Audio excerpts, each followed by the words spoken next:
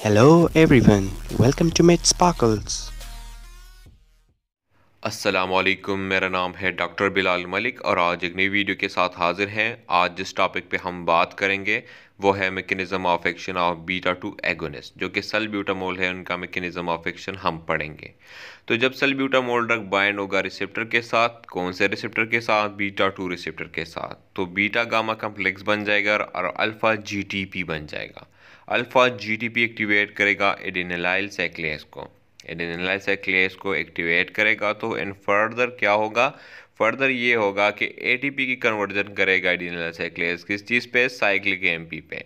जब cyclic MP बन जाएगा तो वो प्रोटीन का इनेज एक्टिवेशन करेगा। क्या करेगा? प्रोटीन काइनेज को एक्टिवेट करेगा। जब प्रोटीन काइनेज एक्टिवेशन हो जाती है तो ये तीन काम करेंगे। फर्दर कैल्शियम चैनल को ब्लॉक करेंगे ताकि इंट्रासेलुलरली कैल्शियम कम हो, ठीक है? सेकंड ये होता है कि सर्कोप्लाज्मिक रेटिकुलम को एक्टिवेट करता है और जब सर्कोप्लाज्मिक रेटिकुलम एक्टिवेट होगा तो ये कैल्शियम को अपने तरफ़ अट्रैक्ट कर लेगा। तो कैल्शियम का इंट्रासेलुलरली और भी कम हो जाएँगे।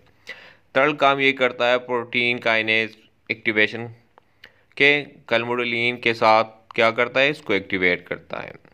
और जब एक्टिवेट हो जाएगा तो कैल्शियम को वो अपने तरफ़ अट्रैक्ट करेगा।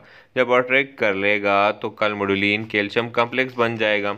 जब कल मोडुलिन कैल्शियम कम्प्लेक्स बन जाता है तो वो एक्टिवेट करता है M L C K myosin, light chain kinase उनको एक्टिवेट करता है, ठीक है?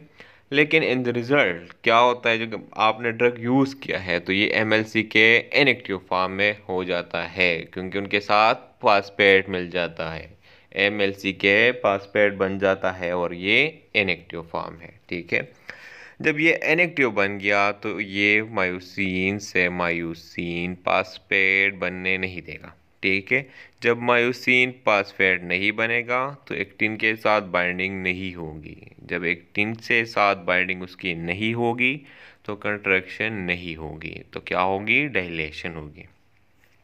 अच्छा नॉर्मली यहाँ पे ऐसा होता है कि एमएलसी के एक्टिव फॉर्म में होता है।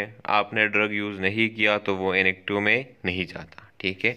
तो फिर मायूसिन से मायूसिन पासपेट बनता है in the presence of phosphatase और उसको फिर बाइंडिंग हो जाती है मायोसिन पासपेट की किस चीज़ के साथ? एक्टिन के साथ और कंट्रेक्शन होती है, जो कि हम जब यूज़ करेंगे तो एमएलसी के एनिक्टिव फॉर्म में होगा तो मायोसिन की बाइंडिंग नहीं होगी एक्टिन के साथ और होगा। Follow us on Instagram Twitter LinkedIn Facebook and subscribe us on YouTube For more information, visit our website www.midsparkles.blogspot.com. For more interesting videos, stay tuned with us. Thank you.